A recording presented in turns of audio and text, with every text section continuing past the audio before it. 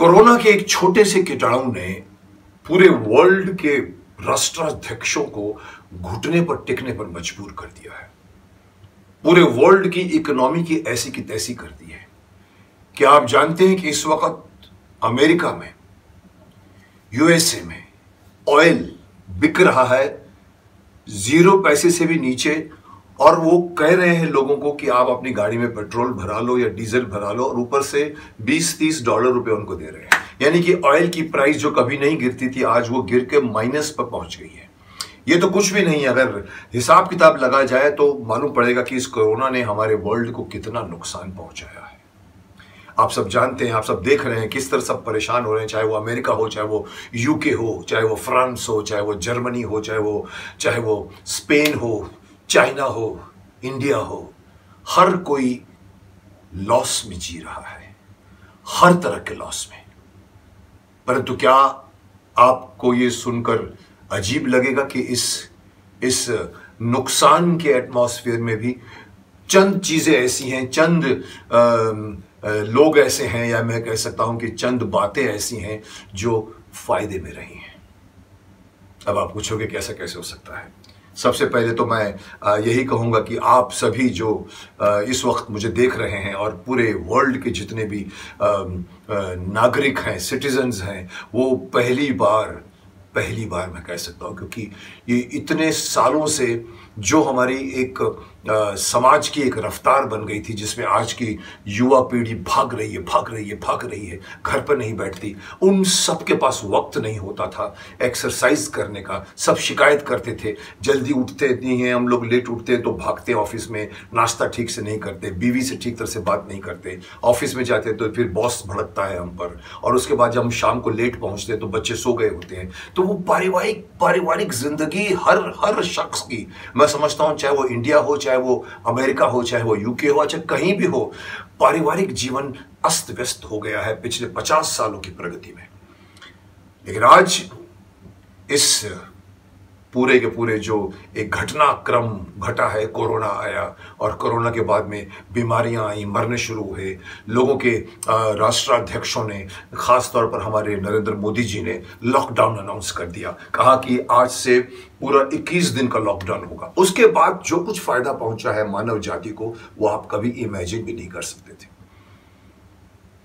वो शख्स जो अपनी फैमिली को धीरे धीरे पहचानने से जानने पर आ गया था। उसको पता है कि मेरी बीवी है, बच्चे हैं, मेरे माता पिता हैं, लेकिन वो धीरे धीरे इतना बाहर के कामों से व्यस्त हुआ, वो भूलना शुरू कर दिया था। आज वो अपने परिवार को घर बैठकर सामने देख रहा है एक एक सदस्य को, और उनके स्वभाव को देख रहा है। उनको हैरानी होती है कि ये कैसे बदल गए, वो पहचानना शुरू किया है। और रिलेशनशिप वही होता है जब आप लोगों को पहचानते हैं। जानना तो बहुत कॉमन चीज़ है। पहचानना ज़रूरी होता है। तो सबसे बड़ा फ़ायदा हुआ है मानव जाति को कि उसे वक्त मिला है वो सब कुछ करने को जो उसे कभी नहीं करने को मिल रहा था। वो एक्सरसाइज कर सकता है, वो किताबें पढ़ सकता है, वो अपने पुराने शौक पूरे कर सकता है, वो अपने सदस्यों को मदद कर सकता है, बच्चों के प्रोग्रेस देख सकता है। तो ये तो एक बहुत बड़ा फ़ायदा जो हुआ है, मानव जाति को हुआ है। लेकिन अगर मैं कहूँ कि एक सवाल अगर पूछूँ कि इस कोरोना के हानिकारक एटमॉस्फेयर में लॉस के एटमॉस्फेयर में सबसे ज़्यादा फ़ायदा किसको हुआ है? आप सोचने लगोगे कि मैं कौन, किसका नाम दूँगा? तो मैं कहूँगा कि कोई देश नहीं है वो, कोई राष्ट्र नहीं है वो, कोई तबका नहीं है, कोई संप्रदाय नहीं है, कोई धर्म नहीं है। फ़ायदा हुआ है तो प्रकृति को फ़ायदा हुआ नेचर, जिसको हम अर्थ कहते हैं, हमारी मदर अर्थ। आपको ये जानकर हैरानी होगी कि इतने सालों के बाद मदर अर्थ को, जिसको हमने बिगाड़ बिगाड़ बिगाड़ के इतना बिगाड़ दिया था कि उसका बुरा असर हमारे पर पड़ रहा था, वो मदर अर्थ को सडनली मालूम पड़ा कि उसको पनपने का मौका मिल रहा है। आप जाकर गंगा के पानी को देखिए। जिसमें कानपुर का चमड़ों का जो कचरा बहता था, वो नहीं है। हरिद्वार में लोग फूल चढ़ाते थे वहाँ पर अस्थियाँ बहाई जाती थी। हज़ारों, लाखों लोग आते थे वहाँ पर। वो गंगा जल, जिसको हम कहते हैं कि स्वच्छ निर्मल है, वो आगे जा, जाकर इतना दूषित हो गया था, जिस पर करोड़ों, अरबों रुपए खर्च हो चुके हैं। आज भी कोई ये नहीं कहता कि गंगा जल जो है वो वो जो है वो बहुत साफ़ सुथरी हो गई है। अभी तक नहीं हुई है। लेकिन इस वक्त पिछले तीन महीने, चार महीने, पाँच महीने, जहाँ पूरे वर्ल्ड में धीरे धीरे लॉकडाउन होना शुरू हो गया है, ये सारी प्रकृति धीरे धीरे जैसे हम कहते हैं ना कंप्यूटर में कभी कभी कंप्यूटर बहुत ज़्यादा लोड कर दो तो वो हैंग कर देता है। तो लोग कहते हैं कि उसको बंद करके फिर से स्टार्ट करो। तो प्रकृति रिफ्रेश हो रही है। नदी, नाले झरने, समुद्र, आप जाकर देखो, उसके पानी में कितना परिवर्तन आया है। वेनिस में जहाँ पर जहाँ पर पानी के थ्रू लोग नाव में बैठ के जाते हैं, वो पानी अगर आप देखिए तो आप हैरान हो जाओगे। वहाँ के पक्षी जिस तरह से बह रहे हैं, इतना साफ़, निर्मल जल दिखता है कि आपको धरातल दिखने लगेगा। आज ही मेरे को किसी ने फ़ोटो भेजी जिसमें उसने वही हर की पौड़ी का एक शॉट दिखाया है और दिखाया है कि देखो गंगा जल का पानी कितना साफ़ है। यहाँ पर लोग, हज़ारों लोग आरती पर बैठते हैं, आज कोई नहीं है यहाँ पर। और ये पानी देखो कितना स्वच्छ है। और पानी का उसने शॉट दिखाया जिसमें पानी के नीचे की सीढ़ियाँ तक दिख रही हैं। ये हुआ है, प्रकृति को मौका मिला है। जंगलों को मौका मिला है। पशु पक्षियों को मौका मिला है। जो रहते थे लोग, लोगों के भीड़ के बीच में। हमारे पूरे के पूरे जो पेड़ पौधे हैं हमारे जो पूरे के पूरे जो हम पोल्यूशन छोड़ते हैं, जो हज़ारों लाखों लोग रोज ट्रैवल करते हैं, जितना हम सांस से छोड़ते हैं, जितनी हम लोग गंदगी छोड़ते हैं अपने शरीर से, वो सब गंदगी खत्म हो गई तो आप समझ सकते हो कि हवा कितनी कितनी उजड़ी हो गई होगी। और इस हवा का असर पड़ा है ओजोन लेयर पर। वो ओजोन लेयर जिसमें छेद होने के काफ़ी शिकायतें आ रही थी कि अगर ओजोन लेयर में छेद पड़ जाएगा तो हमारे देश में, हमारे पूरे वर्ल्ड में वो सूरज की किरणें आएँगी जो नहीं आनी चाहिए। उससे जो बीमारियाँ फैलेंगी, वो आप उसका अंदाज़ा नहीं लगा सकोगे। लेकिन आज वो भी अपने आप को रिफ्रेश कर रहा है। वो लेयर भी ठीक हो रही है।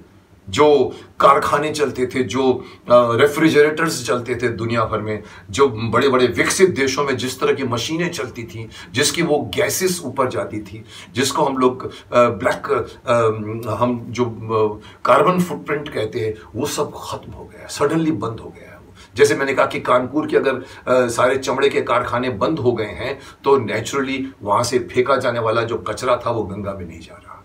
तो वो सब कुछ पूरे जो वर्ल्ड ने प्रकृति को कर दिया है, आज प्रकृति को सडनली प्रकृति ने सबको कहा है, बैठ जाओ।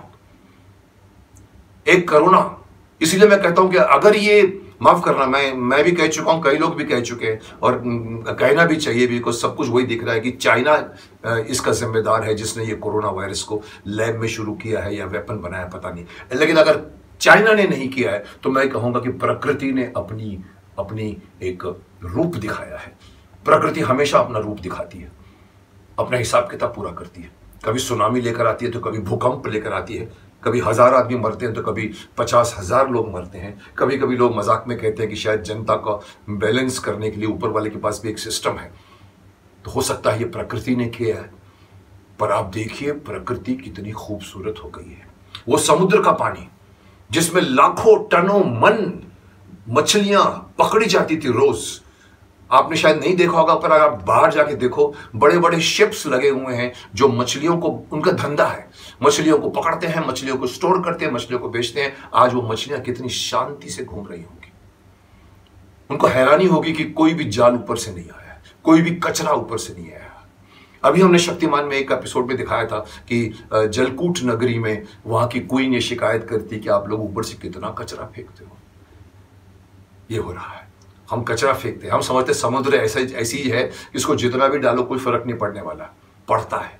हम समझते समुद्र का जल इतना विशाल है कि उस पर कितनी भी हम चीज़ें डालें, वो फिर भी वो अपनी मर्यादा नहीं छोड़ता। लेकिन आपको बता दूँ, समुद्र अगर अपनी मर्यादा नहीं छोड़ता, समुद्र की महानता है, पर समुद्र में रहने वाले जीव जंतु सफ़र करते हैं। जैसे आप गणपति के उत्सव में इतनी मूर्तियाँ बनती हैं, जिसमें इतने केमिकल्स होते हैं और उसको जब हम लोग समुद्र में बहा देते हैं, वो धीरे धीरे नीचे आते हैं तो सूर्य मरीन लाइफ को डिस्टर्ब कर देते हैं। आज सोचिए कि इस कोरोना की वजह से सब अपने अपने घरों में बैठे हैं। साउंड पोल्यूशन नहीं है। आवाज़ें नहीं आ रही आवाज़ भी अपने आप एक एक वेव्स पैदा करती है। लोग कहते हैं कि हम जो कुछ भी बोलते हैं, वो ऊपर चला जाता है, कभी खत्म नहीं होता तो वो वेव्स खत्म हो गई हैं। तो आप सोचिए कितनी शांति हो गई होगी। प्रकृति कितनी कितनी शांति महसूस कर रही होगी। तो सबसे बड़ा फ़ायदा अगर कोरोना से किसी को हुआ है तो वो हमारे मदर अर्थ को हुआ है, प्रकृति को हुआ है। और प्रकृति बड़े बड़े जो कहते हैं कि ग्लेशियर्स अभी पिघलने लगेंगे, क्योंकि गर्मियाँ इतनी बढ़ा दी हैं हमने, वो भी कम हो चुका होगा, क्योंकि कल कारखाने नहीं चल रहे हैं। हम जो गैसेस छोड़ते हैं, वो खत्म हो गई हैं तो धीरे धीरे वो भी सुधर रहा होगा। पहाड़, समुद्र, नदियाँ, नाले, पेड़ पशु पक्षी, ये सब आज हैरान होकर देख रहे होंगे कि हमें डिस्टर्ब करने वाला कोई भी नहीं आ रहा है। आप बाहर घूमो तो आप हैरान हो जाओगे कि आपको इतना अच्छा एटमॉस्फेयर पहले क्यों नहीं मिला। इससे सिर्फ़ अंत में एक बात कहना चाहूँगा कि ये हुआ है, किसने किया है, मुझे नहीं मालूम, चाइना ने किया है, प्रकृति ने खुद किया है, लेकिन ये एक संदेश दिया है कि देखो कितना फ़र्क पड़ता है। अगर आप नियमों के अंदर चलो। हम तो गाने बना रहे हैं मैसेजेस दे रहे हैं, नियमों को पालो, कोरोना को टालो। हमने नियम बना दिया है डिस्टेंसिंग रखो, घर में रहो। लेकिन आप सोचो कि इस करने से आपको जो बाहर फ़ायदे दिख रहे हैं, आगे भी इसको आप फॉलो कीजिए। आगे भी आपको ये जो गलतियाँ मालूम पड़ी है, जो हम शेक एंड करते हैं, नमस्कार, नमस्ते अच्छा होता है। हम गले लगते हैं, उससे नमस्ते अच्छा होता है। हम लोग धीरे धीरे कह रहे हैं कि मांसाहारी खाना खाने से भी ये सब कुछ हो रहा है। लोग सीख रहे हैं। लोगों को मैं चाहता हूँ कि ये मैसेज ज़िंदगी भर के लिए रखें और अपनी ज़िंदगी के तरीके में बदलाव लाएँ। अब उनको पहली बार मालूम पड़ा होगा कि फैमिली के साथ रहने में कितना फ़ायदा होता। है तो मैं समझता हूँ ये फ़ायदा अगर प्रकृति को हुआ है, मानव जाति को इससे सीखना चाहिए कि हमने प्रकृति को कितना बिगाड़ा है। हमने प्रकृति की ऐसी की तैसी करके रखी हुई है। प्रकृति जो हमें सब कुछ देती है, हम बदले में कितना बदला ले रहे थे उससे इसीलिए बचेंगे वो। और धीरे धीरे मैं समझता हूँ कि ये कोरोना का जो है संकट चल जाएगा, लेकिन मनुष्य ने जो कुछ भी सीखा है, तीन महीने में, चार महीने में मे भी छह महीने में, वो पकड़ के रखे, फिर उस पर गलतियों को ना दोहराए तो हमारा जो ये मदर अर्थ है, हमारी जो धरती है वो कितनी ग्रीन धरती बन जाएगी, कितनी पोल्यूशन फ्री बन जाएगी, लोगों को परिवार के साथ रहने का जो सुख मिला उसको पालेंगे। इसलिए मैं चाहता हूँ कि हर बुरे, बुरी चीज़ों में कोई ना कोई चीज़ अच्छी होती है। कोई भी ब्लैक क्लाउड की एक सिल्वर लाइनिंग होती है, इसकी सिल्वर लाइनिंग यही है कि प्रकृति को हमें थैंक्स बोलना चाहिए। और हमेशा हम प्रकृति को वो सब दें जो वो हमें देती है। यही मैं समझता हूँ कोरोना का सबसे बड़ा फ़ायदा।